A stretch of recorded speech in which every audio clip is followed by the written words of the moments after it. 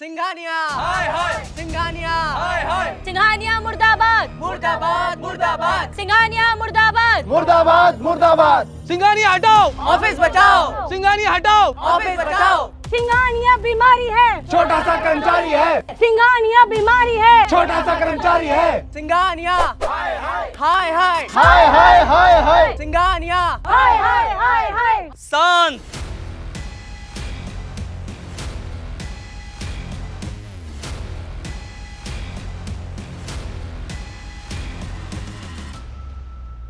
क्या हो रहा है सब? सिंघानिया जी आपके खिलाफ धरना प्रदर्शन चल रहा है। वो तो दिख ही रहा है पर मुद्दा क्या है तुम लोगों का? सिंघानिया ऑफ़िस छोड़ो दादागिरी। नहीं चलेगी नहीं चलेगी किसकी? तेरी।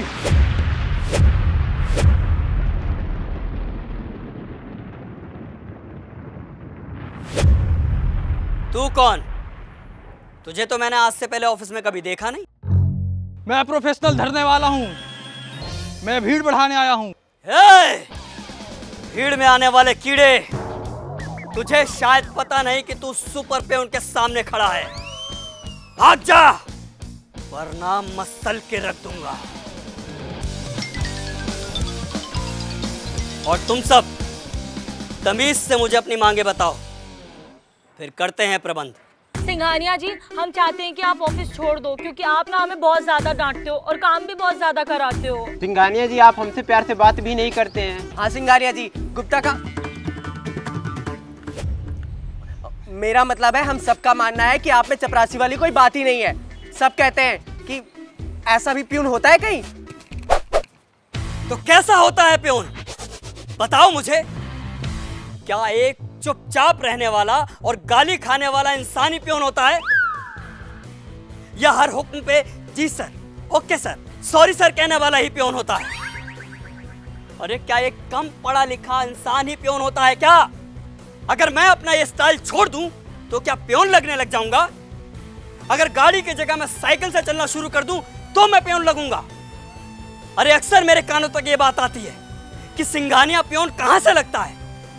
अरे इसमें मेरी क्या गलती है अगर मैं बाकी कर्मचारियों से थोड़ा ज़्यादा दिमाग चला लेता? हूँ बल्कि असली बात तो यह है कि मैं अपने काम और ऑफ़िस के लिए हमेशा तत्पर रहता हूँ, ईमानदारी से काम करता हूँ। क्या इसीलिए मेरे अंदर प्योन वाली बात नहीं?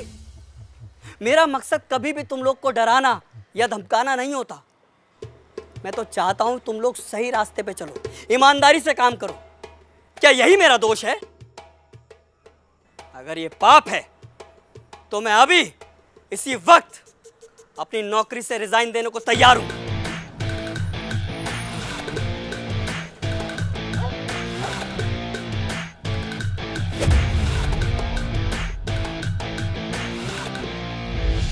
गुप्ता जी चाय।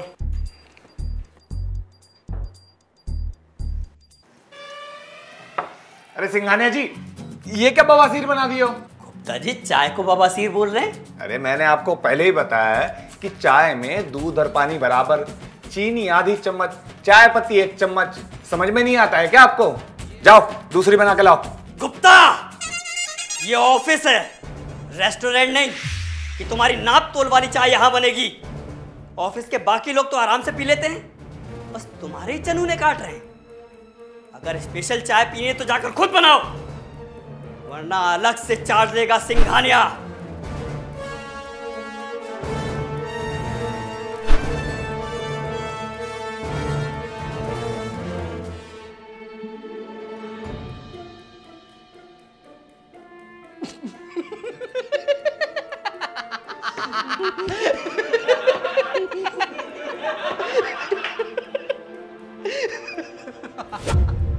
हंसो।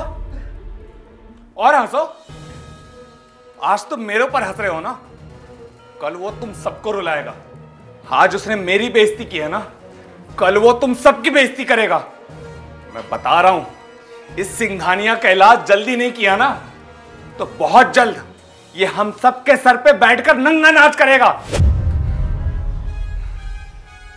तो बताओ, ये बेइज्जती वाली ज़िंदगी जीनी है या फिर अपनी इज़्ज़त के लिए लड़ना है।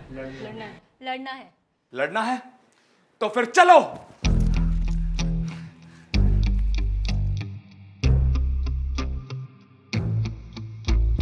सिंघानिया। हाय हाय। सिंघानिया मुर्दाबाद। मुर्दाबाद मुर्दाबाद। सिंघानिया मुर्दाबाद। मुर्दाबाद मुर्दाबाद। गुप्ता।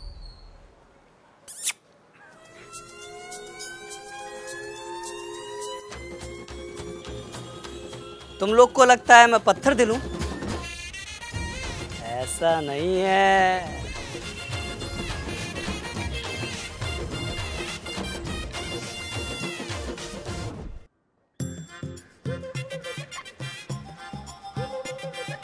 ये आपके लिए।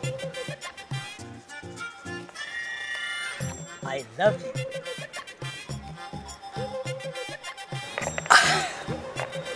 आपके लिए Rosy ji. Thank you Singhania ji. I love you Mishra ji. I love you Choubey ji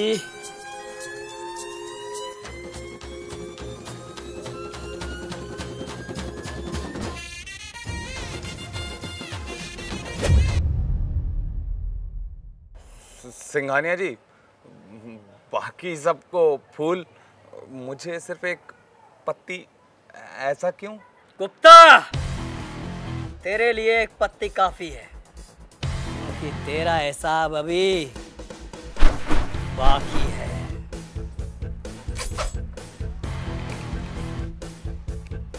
तुम सब लोग काम पे लग जाओ भाई।